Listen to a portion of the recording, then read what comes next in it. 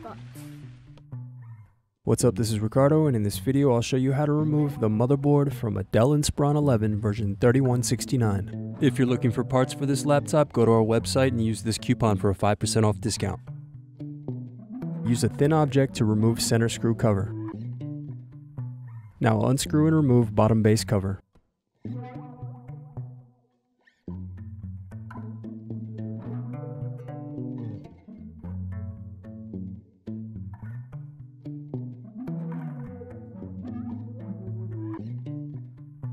Now unscrew battery.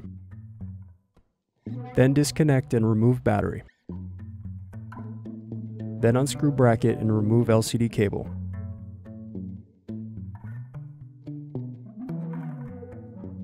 Now disconnect motherboard cables.